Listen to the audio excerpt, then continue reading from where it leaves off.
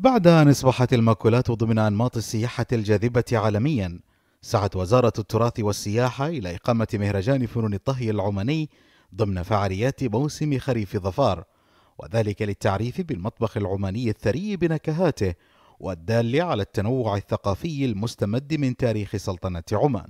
هذا النسخة الأولى لهذا المهرجان آه، لتعزيز سياحة المأكولات وأيضا آه، توثيق وحفظ المأكولات العمانية من خلال تنفيذ مثل هذه المبادرات.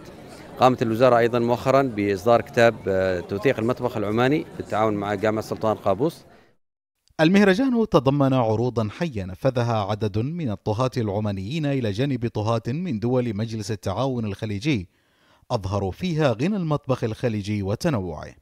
المهرجانات هذه تضيف لنا إحنا الاستفادة وثاني حاجة لا تنسى أنه من إقامة المهرجانات هذه راح تتعرف أنت على أشياء جديدة أيضا وحتى حتى يعني يعني ال حتى الطاهي يطور من نفسه أصلا. المهرجان كان واجد حلو بالنسبة لي واجد واستفدت واجد.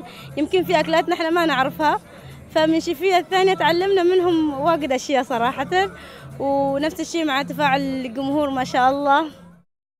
كما ضم المهرجان أركانا لعدد من مطاعم المأكولات العمانية التقليدية التي سمحت لزوار الخريف بتذوق أصنافها المتعددة بالإضافة إلى أركان للمنتجات الزراعية والمحلية التي تدخل في مكونات الوجبات العمانية.